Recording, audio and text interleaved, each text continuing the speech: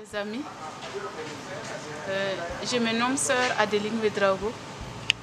Euh, je viens du Burkina Faso, précisément dans le diocèse de Kaya. Et je travaille à l'OCADES comme chargée de projet. Et dans le cadre des projets, je m'occupe des femmes, des jeunes et des enfants.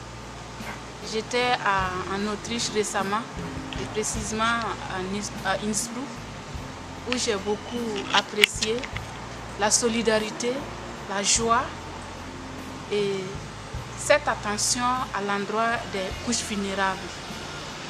Je note en passant que j'ai été dans une école primaire où j'ai beaucoup félicité l'initiative des élèves, leur joie, leur attention par rapport au message que nous leur avons donné et surtout voilà, cette solidarité qui est assez remarquable à travers la mobilisation financière pour soutenir les projets des femmes dans notre Caritas.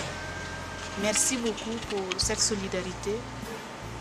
Merci pour avoir effectué cette distance en faisant la course pour marquer votre solidarité à l'endroit des femmes et à travers les femmes, les enfants comme vous autres. Je pense que cet accompagnement va permettre aux femmes d'augmenter leurs revenus, de soutenir leurs enfants dans les écoles, notamment pour la scolarité, les soins et pourquoi pas la cantine scolaire. Je pense que c'est cette solidarité qui permettra à notre monde d'être plus humain et plus fraternel. Innsbruck fasoya noma noma saya sida Innsbruck noma